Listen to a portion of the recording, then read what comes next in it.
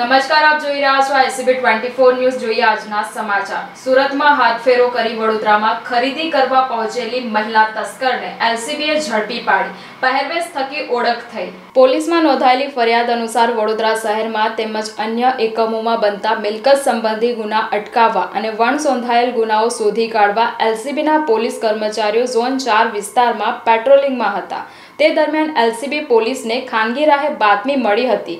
પોલીસને બાતમીદાર પાસેથી મળેલી બાતમી અનુસાર આરોપી મહિલા મંગળ બજારમાં ખરીદી કરવા આવી હોવાની માહિતી મળતા એલસીબીની ટીમ મંગળ બજાર ખાતે પહોંચી ગઈ હતી, જે બાદ તપાસ કરતા બાતમીમાં જણાવ્યા અનુસાર કપડાં અને બેગ સાથે મહિલા મળી આવતા તેને રોકી પૂછપરછ કરતા તેનું નામ સિમરબેન સુનિલકુમાર ઇન્દ્રચંદ બાઠિયા હોવાનું જણાવ્યું હતું, જે બાદ તેના બેગની તપાસ કરતા તેની પાસેથી રોકડ રકમ અને સોનાના દાગીના મળી આવ્યા હતા. રોકડ અને દાગીના અંગે કડકાઈથી પૂછપરછ કરતા આરોપી મહિલાએ સુરત ખાતેથી ચોરી કરી હોવાનું જણાવતા એલસીબી દ્વારા આરોપી મહિલાની અટકાયત કરી કાયદેસરની કાર્યવાહી કરી સિટી પોલીસ સ્ટેશન વડોદરા શહેર ખાતે સોંપવામાં આવી હતી.